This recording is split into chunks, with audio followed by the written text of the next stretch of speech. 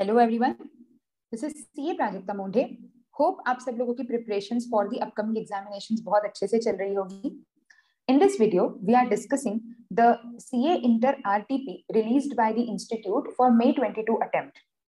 In this video, I'm covering the objective part of income tax portion and the next uh, videos of subjective portion of income tax and GST I'll be releasing soon. So before directly starting with the questions, let us first uh, see that which study material is relevant for us. The income tax law as amended by Finance Act 21. So the income tax law that we are, the Finance Act that is applicable for our examinations is Finance Act 21. तो हमारे लिए assessment year 22, 23 के हिसाब से सारे provisions relevant रहेंगे. And all the notification circulars etc. released up to 31st of October are relevant.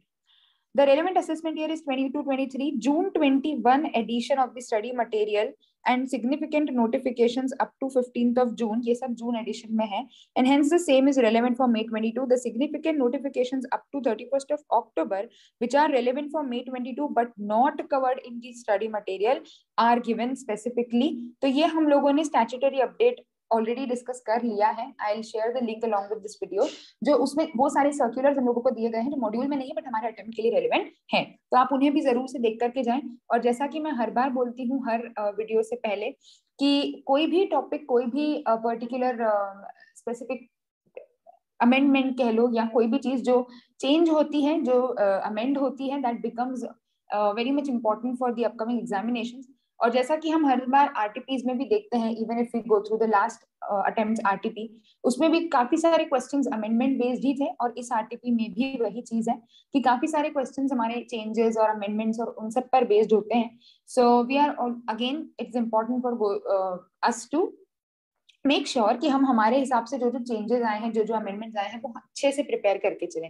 अगर किसी के पास एडिशन नहीं भी है तो मेक श्योर sure कि आप एग्ज़ाम के लिए सही बुक्स से और सही तरीके से प्रिपेयर करें। मटेरियल हमारे पास सही हो। ठीक है? चलिए सो लेट स्टार्ट फ़र्स्ट आप लोगों को जो केस सिनेरियो दिया है make sure before starting I like to highlight these things जब भी आप डायरेक्ट टैक्स में क्वेश्चन पढ़ रहे हैं it is very very important to make sure कि हम एक एक वर्ड ध्यान से पढ़ें। ठीक है? क्योंकि किसी ना किसी वर्ड में किसी ना किसी स्पेसिफिक तरीके का कुछ ना कुछ एग्जेम्पन कुछ ना कुछ आ, मतलब एक्सेप्शन um, वगैरह या कुछ भी एक एडिशनल चीज़ दी हुई होती है तो हमें एक एक वर्ड ध्यान से पढ़ना है और फिर उसको सेक्शन के साथ को रिलेट करते जाना है। Mr Subhash is a retailer of car spare parts he started his business in May 20 His turnover for previous year 2021 was 10.5 crores. ठीक है पिछले साल का टर्नओवर दिया है He generally purchases goods from car accessories and company only. एक ही दुकान है वहीं से खरीदते हैं normally. Car accessories and companies manufactures and sells spare parts directly to the customers as well as through an e-commerce platform carparts.com. मतलब ये जो car and accessories company uh, है ये डायरेक्टली भी सेल करती है और ई कॉमर्स ऑपरेटर के थ्रू भी सेल करती है। Car accessories and companies turnover from the previous year 2021 was the relevant information of purchases made by Mr Subhash in 21 22 is given here under date of credit मतलब जब हमने books में record किया वो और date of payment so credit और payment I hope आपको थोड़ा बहुत हिंट आया होगा हम किस सेक्शन के ऊपर जा रहे हैं, किस uh, पर्टिकुलर सेक्शन के बारे में बात होने वाली है। So it is basically the TDS और TCS provisions that are applicable in case of purchases exceeding 50 lakhs वाले जो सेक्शन है हमारे 2194 क्यू फिर ई कॉमर्स ऑपरेटर से रिलेटेड जो सेक्शन है, उन सबको मिला करके सारे जो प्रोविज़न है, उन पर क्वेश्चन है। अगेन इस पे सर्कुलर में जो अभी हमने सर्कुलर की बात करी, उसमें इस, इन तीनों सेक्शंस को मिला करके काफ़ी सारे पॉइंट्स दिए हुए हैं तो ज़रूर वो सर्कुलर्स आप एक बार गो थ्रू करके देखें। है ना, जो स्टैट्यूटरी अपडेट का मैं बता रही थी वो। Value of spare parts without GST GST at the rate 100% or total value of spare parts. In addition to the above, Mr. Subhash also purchased spare parts for 12 lakh inclusive of GST through carparts.com on 31st of uh, December. The payment was made directly to car accessories. PAN is duly furnished, car accessories and company and car parts. Okay? The GST portion is indicated separately in the invoice of car accessories but it is not shown separately when the goods are purchased through carparts.com. ठीक है Based on the above facts, choose the most appropriate answer. Question number one to five. चलिए. Is Mr. Subhash required to deduct tax at source in the respect of the purchase transactions? If yes, when and what is the amount of tax to be deducted? तो सबसे पहले तो हम बात करें कि कौन से सेक्शन की यहाँ पर बात हो रही है 194 Q 194 Q came into effect on first of July 2021 तो 1 जुलाई 2021 से पहले के जितने भी परचेजेस हो चुके होंगे, उनके ऊपर ये सेक्शन एप्लीकेबल नहीं होगा। हाँ लेकिन जब हम थ्रेशोल्ड देखते हैं मतलब अगर हम सेक्शन को थोड़ा सा रिवाइज करें तो 194 क्यू कहता है? 194 Q basically states that you are required to deduct tax अगर आप किसी से 50 लाख से ऊपर का क्या करते हो परचेज करते हो है ना? तो अगर हमारा uh, 50 लाख से ऊपर का परचेज होता है तो हमें टैक्स डिडक्ट करना है which is applicable from first of July 2021 so एक जुलाई 2021 से पहले के जितने भी ट्रांजेक्शन होंगे उन पे टीडीएस एप्लीकेबल नहीं होगा लेकिन जो 50 लाख की थ्रेशोल्ड है उस 50 लाख की थ्रेशोल्ड के लिए आप पूरे अप्रैल से लेकर के मार्च तक के सारे वो काउंट करोगे। मतलब जून तक की जितनी भी परचेज हो चुकी है वो भी काउंट करी जाएगी टू चेक दी थ्रेश उनके ऊपर टैक्स डिडक्ट नहीं होगा। तो देख लेते हैं हम हमने क्या क्या परचेज किया है। तो so, सबसे पहले हम लोगों को पूछा है डायरेक्टली वाली बात बात करी है उन्होंने कि जो हम बिना ई कॉमर्स ऑपरेटर के डायरेक्टली जो हम कार एंड एक्सेसरीज से खरीद रहे हैं ये वाले केसेस तो फ़र्स्ट वाले ट्रांजेक्शन सेकेंड वाले ट्रांजेक्शन यहाँ इसके बाद हमारा फिफ्टी लैक्स क्रॉस हुआ है तो हमको और फिफ्टी लैक्स हमारा क्रॉस हुआ है। ना फिफ्टी लैक्स हमारा क्रॉस तो सेकेंड ट्रांजेक्शन पर हो जाता है, लेकिन अगर हम ध्यान बात, जैसे मैंने पहले बताया कि उस पर्टिकुलर केस में आपकी एप्लीकेबिलिटी नहीं आएगी, क्योंकि एक जुलाई से पहले के ट्रांजेक्शन हैं। एक जुलाई के बाद हमारे जो ट्रांजेक्शन हैं, वो ये दो हैं और क्योंकि 50 लाख की थ्रेशोल्ड ऑलरेडी क्रॉस हो चुकी है, अब से मतलब फ़र्स्ट ऑफ़ जुलाई से जो भी सारे ट्रांजेक्शन होंगे, उन सब पर आपको टैक्स डिडक्ट करना ही रहेगा at the rate point credit और payment whichever is earlier पर, ठीक है? तो यहाँ तक हम बात कर ली कि हमारे ऊपर एप्लीकेबिलिटी ही नहीं थी। अब एप्लीकेबल हुआ तो फ़र्स्ट वाला जो ट्रांजेक्शन आप लोगों को दिया है that is date of payment is 17 August and date of account credit is 28 August. As I mention 194 Q में आपको क्रेडिट और payment whichever is earlier पे टैक्स काटना होता है तो यहाँ पर हमारा क्रेडिट सॉरी पेमेंट अर्लियर है तो पेमेंट बेसिस पर हमको टैक्स डिडक्ट करना है, ठीक है? अब सवाल दूसरा खड़ा ये होता है कि टैक्स डिडक्ट 21 लाख पचास हज़ार पर करना है या 25 लाख थर्टी सेवन थाउज़ेंड पर करना है? तो अगर हम, हमारा जो सर्कुलर है, मैं अगेन उस सर्कुलर को भी साथ में ही ओपन सॉरी स्टैचुटरी अपडेट को भी हम साथ में ही डिस्कस करते चलते हैं। तो हमारा जो स्टैचुटरी अपडेट है, उसमें हमको क्लियरली यहाँ पर ये केस दे रखा है कि जीएसटी का क्या ट्रांजेक्शन रहेगा जीएसटी का क्या इम्पैक्ट रहेगा? मतलब हमको जो टैक्स डिडक्ट करना है, वो जीएसटी कंपोनेंट पर करना है या एक्सक्लूडिंग जीएसटी कंपोनेंट पर करना है? ये वाला हमारा पॉइंट है, देखो। It is clarified that when tax is deducted at the time of credit amount, then the component of GST is indicated separately. The tax shall be deducted under section 194Q on the credited amount without including such GST. तो अगर हम credit basis पर कर रहे हैं और हमारे उसमें specifically mentioned है invoice में कितना GST है कितना नहीं है तो आप फिर उस केस में सिर्फ़ without GST exclusive of GST वाला जो अमाउंट है, उस पर टैक्स काटोगे। हाउएवर अगर टैक्स पेमेंट बेसिस पर डिडक्ट होता है तो क्योंकि जब आप पेमेंट बेसिस पे टैक्स काट रहे हो, आपको अभी एग्जैक्टली exactly पता नहीं है कि किस इनवॉइस के अगेंस्ट ये पेमेंट एडजस्ट होगा। तो इसमें कितना जीएसटी इंक्लूड हो सकता है, कितना नहीं हो सकता, वो सेग्रीगेट करना मुश्किल हो सकता है। इसीलिए जब आप पेमेंट बेसिस पर टीडीएस काटोगे तो आप पूरे पे काटोगे मतलब इंक्लूसिव ऑफ़ जीएसटी पे काटोगे। और जब आप क्रेडिट बेसिस पर काटोगे, तब आप जीएसटी को हटा करके जो अमाउंट है, उस पर काटोगे, ठीक है? तो चलिए आ जाते हैं हमारे आरटीपी पर वापस से। हम्म तो यहाँ फ़र्स्ट वाले केस में हम पेमेंट बेसिस पर काट रहे हैं। देखो, हमारा जो पेमेंट है, वो पहले हो रहा है सत्रह अगस्त।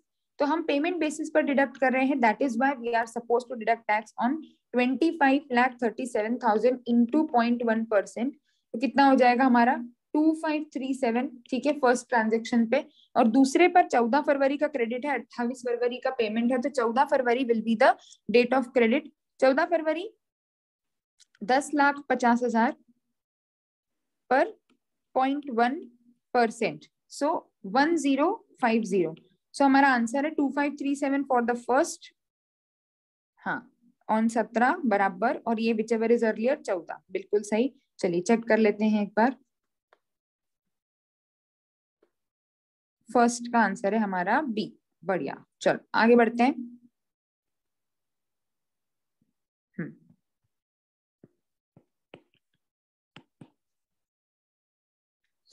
इस car accessories and company required to collect tax in respect of the sale transaction with Mr Subhash if yes when and what is the amount of tax to be collected अब अगर हम लोगों को याद होगा तो हम लोग 2061H और 194Q दोनों एक जैसे सेक्शंस हैं। 194Q बोलता है कि टैक्स डिडक्ट करो 2061H बोलता है कि टैक्स कलेक्ट करो।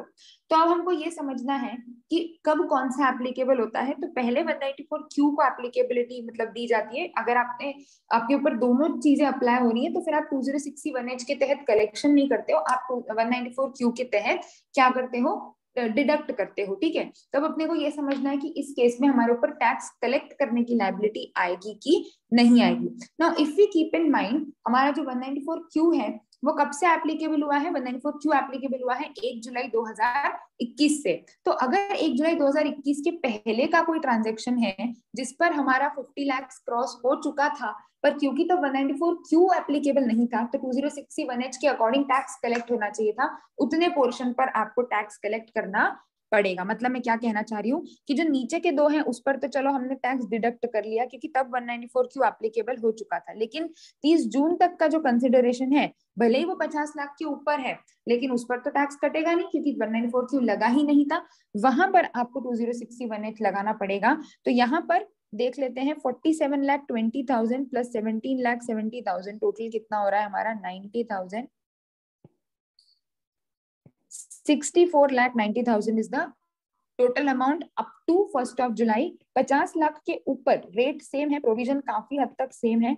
पचास लाख के ऊपर जितना अमाउंट है फोर्टीन लाख नाइन्टी थाउज़ेंड का जो अमाउंट है वो अमाउंट आपका uh, ये रहता है। मतलब that is fourteen lakh ninety thousand is the amount which is liable for tax collection at the rate 0.1 percent तो 1490 पर आपको क्या करना है? टैक्स कलेक्ट करना है। तो देख लेते हैं अपन ऑप्शन कौन सा मैच हो रहा है क्या?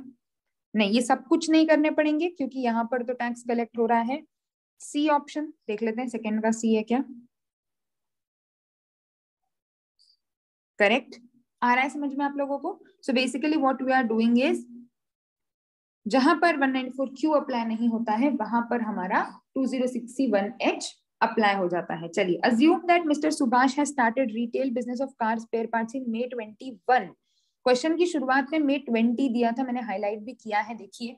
क्यों ज़रूरी है ये देखना? अगेन दिस इस पूरे क्वेश्चन का आंसर आपको सर्कुलर में अच्छे से मिलेगा। अगर किसी ने पहले वो पार्ट नहीं देखा हुआ है मतलब अगर आप लोगों ने अभी तक इंस्टीट्यूट का स्टैट्यूटरी अपडेट नहीं पढ़ा है तो आई एडवाइज कि पहले आप उसे पढ़ लें, फिर ये वीडियो देखें बिकॉज़ इसमें काफ़ी सारी चीज़ें वहीं से लिंक होंगी, जो कि हो सकता है मॉड्यूल में आपको उतना पूरा नहीं भी प्रोवाइडेड हो। तो हो सकता है आपको लगे कि अरे, ये चीज़ें कहाँ पर दी थी, हमने पढ़ी नहीं है। तो स्टैच्यूटरी अपडेट पहले एक बार पढ़ लें।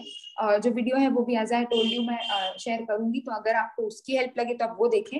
और उसके बाद आरटीपी सॉल्व करें, ठीक है? तो मे ट्वेंटी में अगर इसका बिज़नेस शुरू हुआ है तो ट्वेंटी ट्वेंटी वन में इसका टर्नओवर हम देख सकते हैं, जो कि दस से ऊपर होना चाहिए टैक्स डिडक्ट करने के लिए, बराबर। साढ़े दस करोड़ का टर्नओवर है क्वेश्चन में गिवन है। लेकिन अगर इसका बिज़नेस मे ट्वेंटी वन में शुरू हुआ है तो हमको पिछले साल का टर्नओवर ही नहीं मिल पाएगा। और वन नाइनटी फोर क्यू क्या बोलता है? अगर पिछले साल का टर्नओवर दस करोड़ के ऊपर है तो हम लोगों के ऊपर स्पेसिफिक सेक्शन एप्लीकेबल होगा। अगर हम पिछले साल का टर्नओवर ही नहीं चेक कर सकते तो सेक्शन की एप्लीकेबिलिटी ही नहीं लगाई जा सकती है।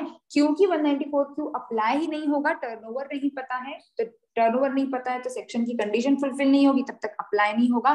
सारे ट्रांजेक्शन पर 2061 एच के हिसाब से ही आपको टैक्स डिडक्ट कलेक्ट करना पड़ेगा, ठीक है? तो टीडीएस हट जाएगा। अब अपन देख लेते हैं क्या बोल रही है। कि in such case what would be the answer of MCQ one and two तो वन का हो जाएगा कि no tax is liable to be deducted मतलब वन का आंसर हो जाता है D no the answer will be the same yes the answer will change to D yes the answer ठीक है तो ये तो इन्होंने तीनों, अब बी सी डी में से क्या होगा? एमसीक्यू टू का देख लेते हैं अपन। एमसीक्यू टू में टैक्स कलेक्शन मेरे ख्याल में बी हो जाएगा, क्योंकि tax collection inclusive of GST पर ही होता है। हाँ। तो answer of MCQ one would change to D and answer of MCQ two would change to B अगर उसका बिज़नेस नया है तो 194 क्यू अप्लाई नहीं होगा? 194 क्यू अप्लाई नहीं होगा? तो सारे ट्रांजेक्शन पे 2061H लगेगा। तो हर ट्रांजेक्शन का जो रिसिट अमाउंट है, क्योंकि टीसीएस है, वो रिसिट बेसिस पे लग रहा है। उस सेक्शन में डेबिट और रिसिट नहीं बोला, उस सेक्शन में रिसिट बोला है। इधर डेबिट और पेमेंट बोला है। सॉरी क्रेडिट और पेमेंट बोला है। तो रिसिट बेसिस पे लग रहा है जितना मिला उस पर टैक्स कलेक्ट करेंगे तो इंक्लूसिव ऑफ़ जीएसटी वाले तीनों फिगर्स को पकड़ेंगे। इसीलिए answer will be MCQ one would be D no taxes liable to be deducted MCQ two will be तीनों पर कलेक्ट करना है और इंक्लूसिव ऑफ़ जीएसटी पर करना है। मतलब two one four nine zero two five three seven और वन टू थ्री नाइन ठीक है? चलिए, अब आ जाते हैं। Are the provisions of tax deduction and collection at source attracted in respect of transaction with carparts dot com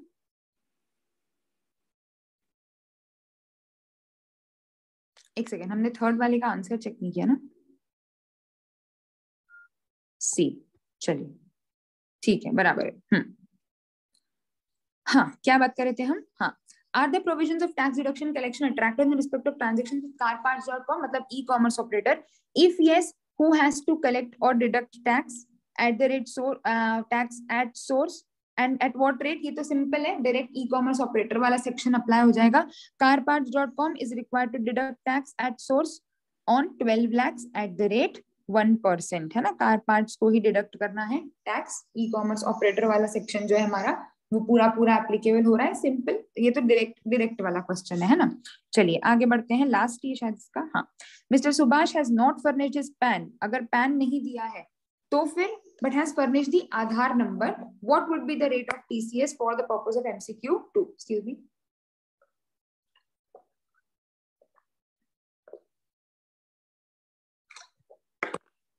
Rate change नहीं होगा सॉरी आधार फर्निश कर दिया है तो पॉइंट वन ही लगेगा सो so, फोर्थ का है डी और फिफ्थ का है सी है ना फोर्थ का डी एंड फिफ्थ का सी फोर्थ का डी फिफ्थ का सी ठीक है चलिए है ना? आगे बढ़ते हैं।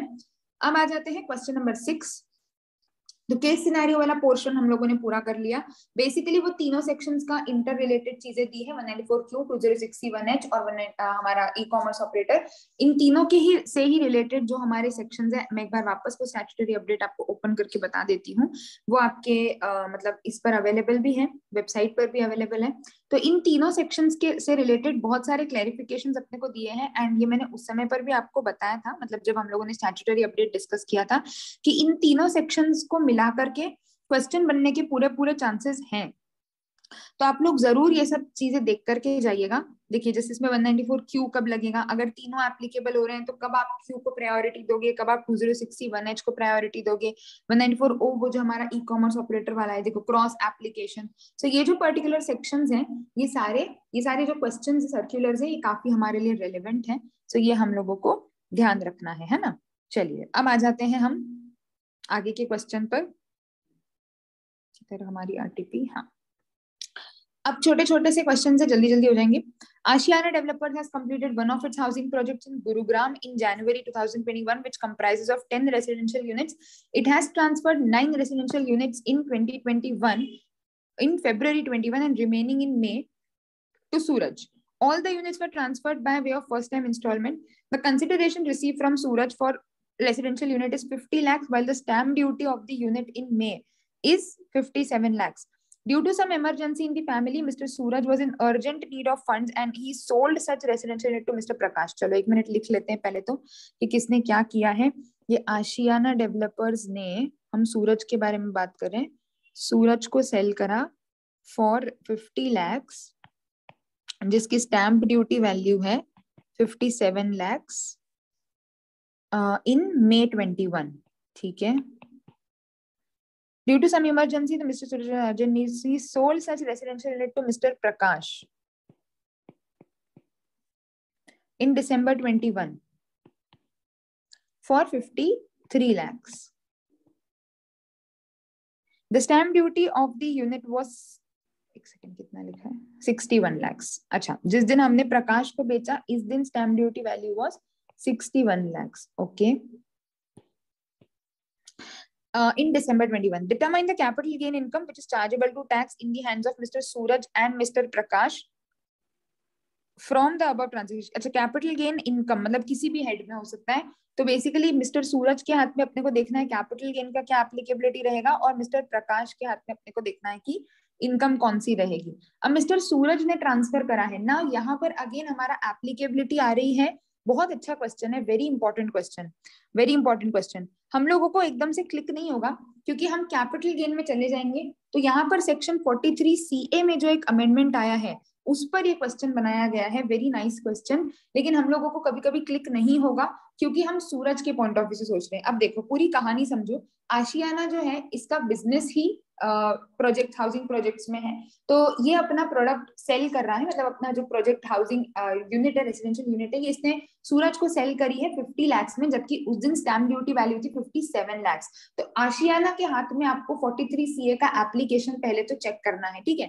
ना why am I asking you to check 43 CA आपको लग रहा होगा कि मैम इसमें तो लिखा ही नहीं है कि आशियाना डेवलपर्स के हाथ में टैक्सेबिलिटी आ रही है कि नहीं आ रही है। तो हम 43 सीए क्यों चेक कर रहे हैं? बिकॉज़ उस पर डिपेंड करेगा कि जब सूरज इस प्रॉपर्टी को सेल करेगा तो उसके हाथ में कॉस्ट ऑफ़ अक्विजिशन कितनी पकड़ी जाएगी? आ रही है बात समझ में? सो so, अगर आशियाना के हिसाब से मतलब आशियाना के आ, हम केस को समझेंगे तो वो लिंक्ड रहेगा सूरज के केस से और फिर वो लिंक्ड रहेगा प्रकाश के केस से। तो जस्ट एक मिनट के लिए हम फटाफट से हमारा जो 43 सीए में अमेंडमेंट है जो मैं अभी बता रही हूँ आपको वो अपन एक बार देख लेते हैं exactly that what the amendment says जिसमें बेसिकली हुआ ये है कि 43 सीए के हिसाब से आपको जो पहले 10 परसेंट का स्टैम्प ड्यूटी वैल्यू और ये अलाउड हुआ करता था मतलब 10 percent of stamp duty value and difference between the consideration allowed हुआ करता था, वो अब कुछ कुछ केसेस में उन्होंने 20 परसेंट कर दिया है, ठीक है? तो आ जाते हैं हम 43 C A just a second हमारा हाँ ये रहा। सो so, कुछ केसेस में अब उन्होंने क्या कर दिया है? That in that case 120 percent देखा जाएगा। तो हम चेक कर लेते हैं हमारे ऊपर कौन सा वाला केस एप्लीकेबल हो रहा है। In case of transfer of an asset being a residential institute residential unit if the stamp duty value of the residential unit does not exceed 120 percent then the such consideration will be deemed to be the full value of consideration for the purposes of computing the profits and gains from transfer of such asset तो मतलब आपका original consideration को ही consideration माना जाएगा। दस की जगह limit हो गई है, बीस परसेंट किन किन केसेस में? Transfer of residential unit takes place between the बारह नवंबर से तीस जून तो तीस जून के पहले हमारा मई में हो रहा है तो ये condition fulfil first time allotment है हाँ। The consideration received is less than और इक्वल टू टू करोड़ हाँ। तो ये तीनों केसेस सेटिस्फाई हो रही है तो हमको टेन परसेंट चेक नहीं करना है, हमको ट्वेंटी परसेंट चेक करना है फोर्टी थ्री सी ए में। तो आ जाते हैं हम, क्या बोला है हमको यहाँ पर? चलिए तो सबसे पहले तो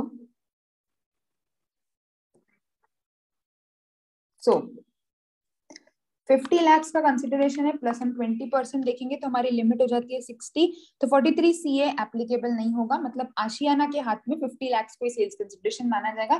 That is not the part of question but we need to understand it क्योंकि फिर सूरज के हाथ में मतलब इनकम अंदर under the head other sources that is 56 two 10 applicable नहीं होगा। अगर आप लोगों को याद हो तो 43 C A 56 two 10 linked provision है। सिमिलरली 50 सी और 56 टू 10 लिंक्ड प्रोविज़न है। इधर 43 सी ए लगता है, लेने वाले के हाथ में 56 टू 10 लगता है। सेम अमेंडमेंट जो 10 परसेंट वाली चीज़ 20 परसेंट हुई है, वो अब से 56 टू 10 में भी डाला है उन्होंने कि 56 टू 10 में भी अगर वो सेम ये वाली कंडीशन फुलफिल हो जाती है तो उधर भी बीस करा है तो इधर भी उसको बीस कर दिया है। तो क्योंकि इधर फोर्टी थ्री सी ए नहीं लग रहा तो इधर फिफ्टी सिक्स टू टेन नहीं लगेगा। क्लियर मतलब इसके हाथ में, सूरज के हाथ में ये जो डिफरेंस अमाउंट है, ये टैक्सेबल नहीं है। तो जब सूरज इसको सेल करेगा तो उसके लिए cost of acquisition will be 50 normal provision क्या होते हैं? लेट अस रिवाइज वंस कि अगर मेरे हाथ में 56 टू 10 लग जाता है मतलब सपोज़ कि सूरज ने खरीदा तो एक्चुअली 50 में है। लेकिन स्टैम्प ड्यूटी 57 है। Let us assume 56 two 10 apply हो रहा है डिफरेंस तो मेरे हाथ में सेवन लैक्स अदर सोर्सेज में टैक्सेबल हो जाता। क्योंकि मैं सेवन लैक्स पे टैक्स दे चुकी हूँ तो जब मैं ये प्रॉपर्टी बेचूँगी, मेरी actual cost of acquisition fifty नहीं होकर के फिफ्टी सेवन हो जाएगी। ठीक है? तो वो चेक करना इसीलिए ज़रूरी है कि क्या fifty six two ten apply हो रहा है क्योंकि अगर 56 टू टेन अप्लाई हो रहा है तो बेचते वक्त हमारा कॉस्ट ऑफ़ अक्विजिशन जो है वो चेंज हो जाएगा। इसीलिए मैं आपको 43 सीए पे ले गई। अदरवाइज़ स्पेसिफिकली क्वेश्चन के लिए 43 सीए की रिक्वायरमेंट उन्होंने नहीं पूछी है। ठीक है? तो 50 लैक्स और 57 वाली कहानी आपको समझ में आई, क्योंकि यहाँ पर 56 टू टेन नहीं लग रहा है तो एक्चुअल जो सेल्स कंसिडरेशन है, वो ही कॉस्ट ऑफ़ अक्विजिशन माना जाएगा जब सूरज बेचेगा तब। अब सूरज ने बेचा कब है? मई से दिसंबर मतलब शॉर्ट टर्म में हो गया तो अपने को एक इंडेक्सेशन का लफड़ा नहीं है।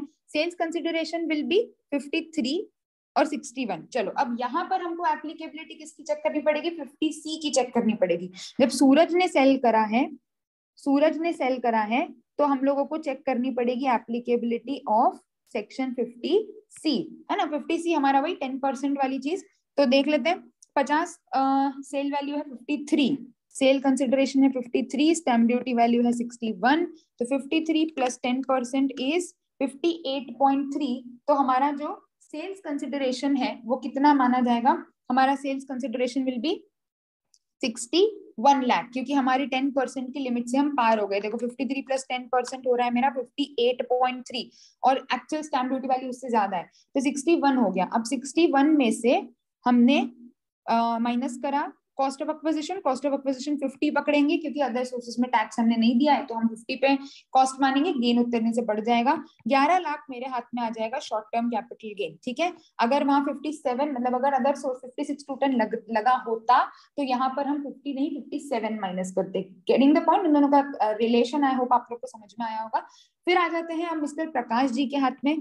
तो जब यहाँ पर 50 सी लगता है तब ऑटोमेटिकली इधर अपने को दिमाग लगाना है 56 टू 10 के बारे में कि क्योंकि डिफरेंस 10 परसेंट के ऊपर और 50,000 विच एवर इज़ हायर से ज़्यादा का है तो 56 टू 10 लग जाएगा।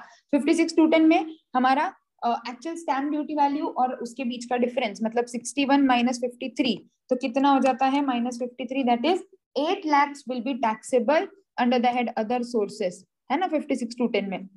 चलिए तो देख लेते हैं, ग्यारह लाख का short term capital gain and income other than other sources one six का ए सिक्स क्वेश्चन का A option number let us see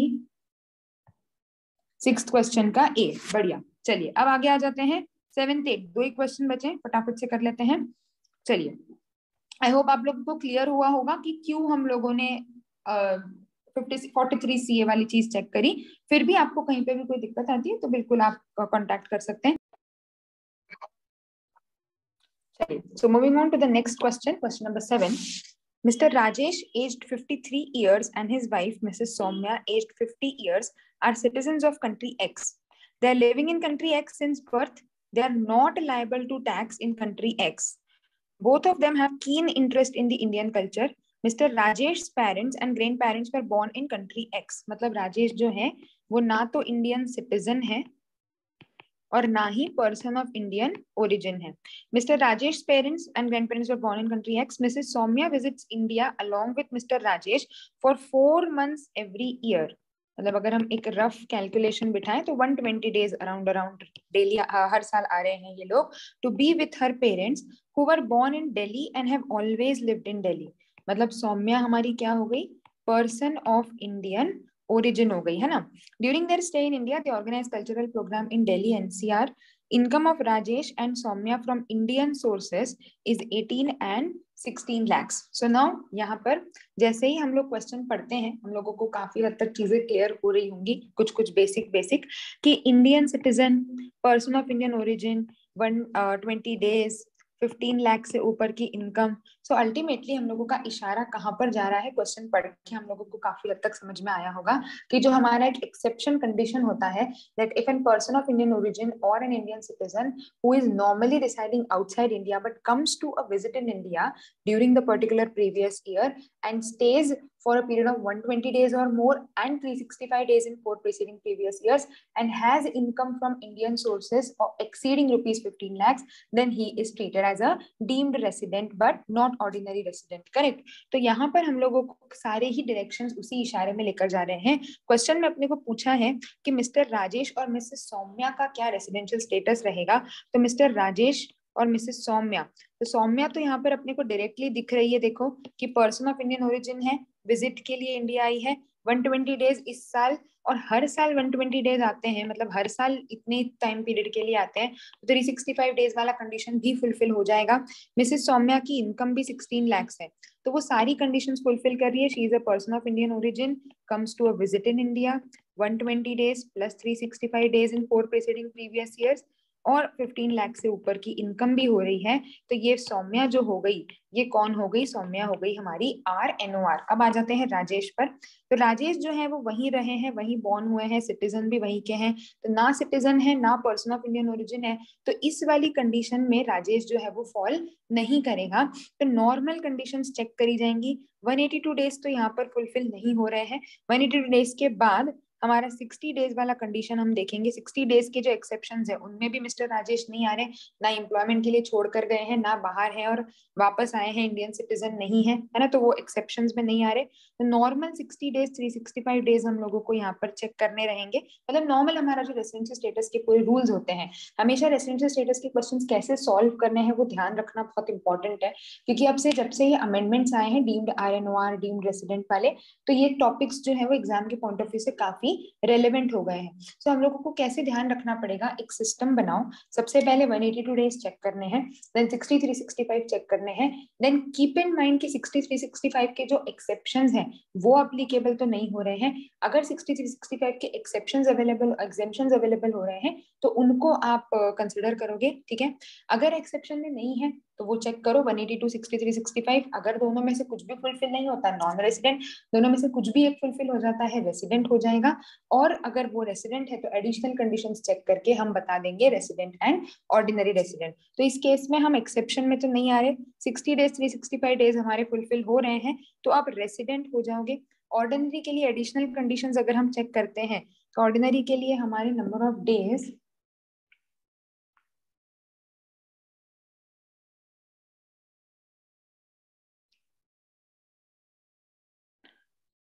120 days every year लिखा है। हम्म, तो सात साल में हमारे 730 डेज़ भी पूरे हो जाएँगे और okay so two out of ten वाली कंडीशन भी पूरी हो जाएगी। तो हमारे एडिशनल भी फुलफिल हो रहे हैं हमारे रेगुलर भी फुलफिल हो रहे हैं। तो उस लॉजिक से अगर हम देखें तो then the assessee is R O R. So देखिए हमारा option resident both are resident non-resident both are non-resident nahi rajesh is resident but not ordinary resident and soumya soumya is resident but not ordinary resident and rajesh is non-resident okay so i think there is some kind of clarification required in this case कि यहाँ पर राजेश के case में तो हम regular conditions check करेंगे हमारी जो नॉर्मल कंडीशंस होती है वो चेक करेंगे सही तो राजेश या तो maybe there is some point missing in the question और let us see maybe the institute will release some kind of clarification but जितनी इन्फॉर्मेशन अभी क्वेश्चन में दी हुई है, उसके हिसाब से तो राजेश के लिए हमारी रेगुलर कंडीशन चेक करी जाएँगी। आप एक्सेप्शन में फॉल नहीं करोगे, ठीक है? तो उसके अकॉर्डिंग हम अभी डिस्कस कर रहे हैं। अगर इनकेस कुछ क्लैरिफिकेशन आता है तो then we will see to it Getting the point? Chali. Last question. Mr. A had taken two ULIPs. ULIP X issued on 1st of January 21. ULIP Y issued on 1st of May 21. Sum assured of ULIP X and ULIP Y is 30 lakhs and 40 lakhs. Premium is 3 lakhs and 4 lakhs. What will be the taxability? So again, this is based on an amendment as I always say.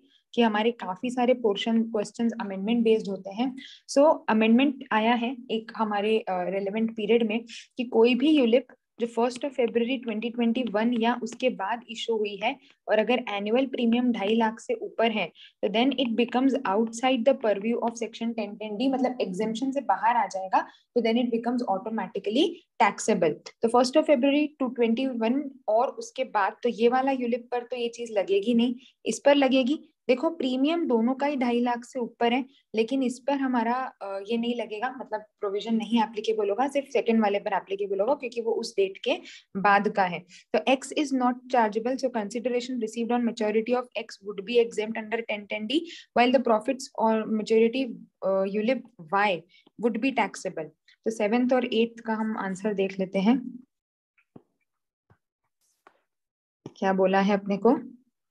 Seventh का तो खैर हमने समझ ही लिया कि उसमें partially ही clear हो पाए है हमारा पॉइंट एट्थ वाले में ए ऑप्शन ही बराबर है बिल्कुल सही है ना? सो so, यहाँ पर हमारा टेन टेन डी का एग्जामेशन लग जाएगा in case of ULIP one ULIP two की केस में मतलब वाई वाली केस में हमारा एग्जामेशन नहीं लगेगा बिकॉज़ ये वाला एक्सेप्शन मतलब हमारा जो अमेंडमेंट वाला पोर्शन है, वो यहाँ पर कवर हो जाता है। नॉर्मली भी अगर यहाँ पर हम चेक करें तो डेट जब भी दी हुई है, कोई सा भी प्रोविज़न हमेशा ध्यान रखें, जो कि साल के बीच में से एप्लीकेबल हो रहा है। जैसे हमने टीडीएस वाले देखे जो फ़र्स्ट जुलाई से एप्लीकेबल हो रहे हैं तो कोई सा भी प्रोविज़न जो मिड ऑफ़ द ईयर से एप्लीकेबल होता है या किसी भी बीच बीच की डेट से एप्लीकेबल होता है, वहाँ पर एग्जामिनेशन में डेट बहुत ज़्यादा इंपॉर्टेंट हो जाती है है ना क्वेश्चन में। सो so, इस तरीके से हमें छोटी छोटी बातों का ध्यान रखना है। क्वेश्चन पढ़ते वक्त बहुत माइन्यूट डिटेल्स पे फोकस करना है। कहीं पर भी Uh, कोई सा भी वर्ड कोई सा भी जो हमारा टॉपिक है उसको हम लाइटली नहीं लें। है ना? छोटी छोटी बातों से हमारे क्वेश्चन के कंक्लूजन जो है वो कभी कभी चेंज हो जाते हैं। So with this we complete the objective portion of your RTP अगर इसमें आपको कहीं पर भी कोई भी डाउट है then feel free to discuss इसके बाद मैं आपका सब्जेक्टिव पोर्शन और जीएसटी वाला पोर्शन फिर हम लोग डिस्कस करेंगे। चलिए all the best for your examinations